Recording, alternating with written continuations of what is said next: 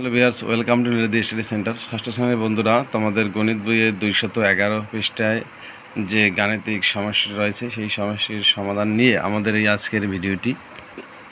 মূল পর্বে যাওয়ার আগে তোমাদের ছোট্ট রিকোয়েস্ট তোমরা যারা আমাদের চ্যানেলে নতুন হয়েছ, অবশ্যই চ্যানেলটি সাবস্ক্রাইব করার অনুরোধ রাখছি। যারা অলরেডি সাবস্ক্রাইব করেছ, তাদেরকে অসংখ্য ধন্যবাদ।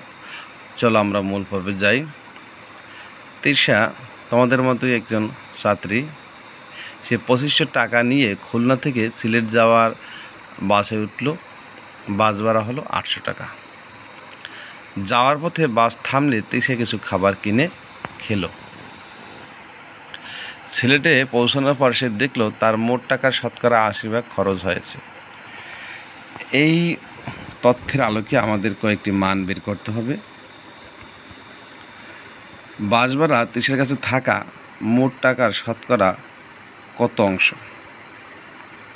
তিশার মোট কত টাকা খরচ করেছে? তিশার কাছে কত টাকা অবশিষ্ট ছিল? তিশা কত টাকার খাবার খেয়েছিল? খাবারের খরচ মোট খরচের শতকরা কত অংশ? এবং খাবার খরচ মোট খরচের শতকরা কত অংশ? আমাদের ওই উদ্দীপকের আলোকে এই উত্তরটি বের করতে হবে। চলো আমরা মূল পর্বে যাই। আচ্ছা, আমাদের প্রথম প্রশ্ন ছিল তৃষা মোট টাকার কত অংশ ভাড়া দেয়? তা তৃষার কাছে মোট টাকা ছিল কত? পঁচিশশো। তাহলে তৃষা পঁচিশশো টাকার মধ্যে বাস বাস ভাড়া দিল আটশো টাকা। তিরিশশো পঁচিশশো টাকা থেকে আটশো টাকা বাস ভাড়া দিল। এটি শতকরা নিতে হবে আমাদের। তাহলে তিরিশা এক টাকায় মধ্যে বাস ভাড়া দিল আটশো বাই হলো পঁচিশশো। তাহলে তৃষা একশো টাকায় বাস ভাড়া দেয়। আটশো গুণ হলো কত? একশো, নিচে হলো পঁচিশশো। এখন আমরা যদি এটা করি, দুই শূন্য দুই শূন্য কাটা। এখন পঁচিশ দিয়ে কাটলে আটশত ভিতর পঁচিশ যায়। বত্রিশ বার, কত বার যায়? বত্রিশ বার। তাহলে আমরা লিখতে পারি বত্রিশ টাকা। অর্থাৎ বাস ভাড়া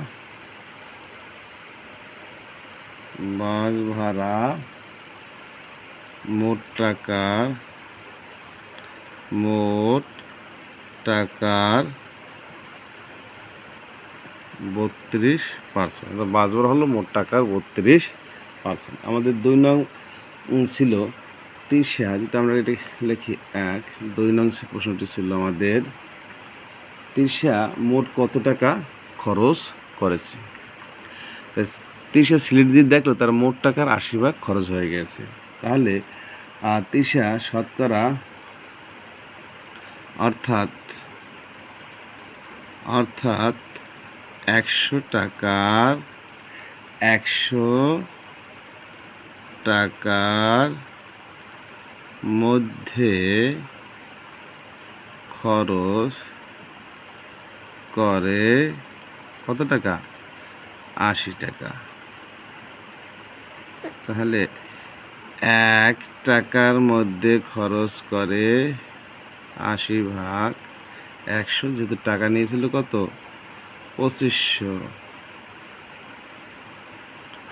তাহলে আশি গুণ হলো পঁচিশশো ভাগ হলো একশো। আমরা কেটে ফেলি। তাহলে এটা আসলো কত? দুই হাজার টাকা। দুই হাজার টাকা।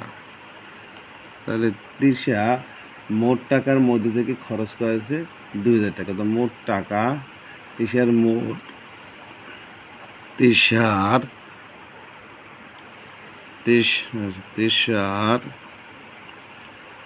মোট দুই হাজার টাকা খরচ হয়েছে। তিসার মোট খরচ হয়েছে দুই হাজার টাকা। আমাদের তিন নং প্রশ্নটি ছিল তিসার নিকটে কত টাকা অবশিষ্ট আছে? তিসার নিকট ছিল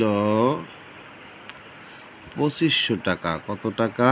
পঁচিশশো টাকা। তিসা খরচ করে দুই হাজার টাকা।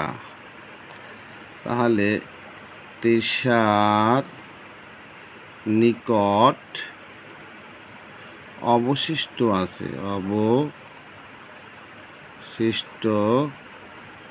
আছে মোট টাকা ছিল কত? পঁচিশশো। সেখান থেকে খরচ হয়েছে কত? দুই হাজার টাকা। তাহলে বাদ থাকে কত? পাঁচশো টাকা। তাহলে তিসা কাছে আছে পাঁচশো টাকা। আমাদের চার নং প্রশ্ন ছিল তিশা কত টাকার খাবার খেয়েছিল? তিশা কত টাকার খাবার খেয়েছিল? সেটা আমাদের চার নং প্রশ্ন। তাহলে আমরা জানি তিশার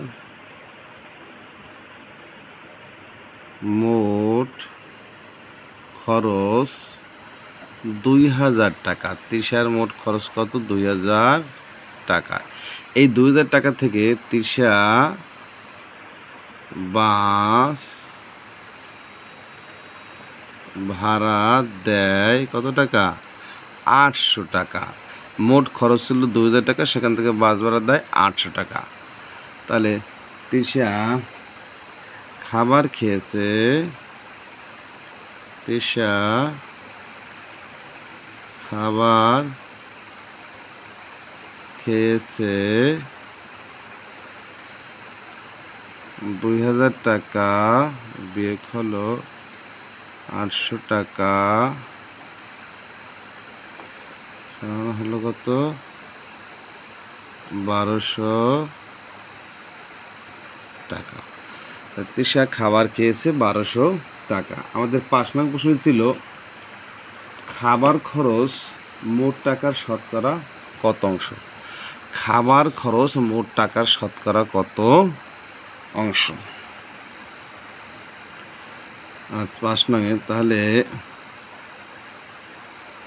মোট টাকা ছিল আমাদের মোট টাকা পঁচিশশো কত? পঁচিশশো মোট টাকা পঁচিশশো। খাবার খরচ বারোশো টাকা। তাহলে খাবার খরচ খাবার খরচ মোট টাকার বারো ভাগ পঁচিশশো এত অংশ। এত অংশ। যদি এটাকে আমরা শতকরা প্রকাশ করি, তাহলে আমরা লিখতে পারি বারোশো নিচে হলো পঁচিশ, গুণ হলো একশো। এটাকে যদি আমরা কেটে ফেলি, এটা কাটলে হয় বারোশো বা পঁচিশ, আটচল্লিশ। তাহলে আমরা লিখতে পারি একশত বা আটচল্লিশ গুণ এক ভাই একশো ইকালটা হলো আটচল্লিশ পার্সেন্ট দ্বিতীয় ছিল খাবার খরচ, মোট খরচের শতকরা কত অংশ? যেটা ছিল আমাদের ছয় দাগের প্রশ্ন। তাহলে খাবার খরচ, খাবার খরচ ছিল কত? বারোশো টাকা। আর মোট খরচ হয়েছিল দুই হাজার টাকা। তাহলে খাবার খরচ, মোট খরচের খাবার খরচ মোট খরচের